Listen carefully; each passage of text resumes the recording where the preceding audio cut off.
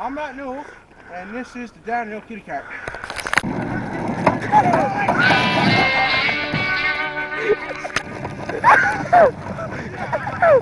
Oh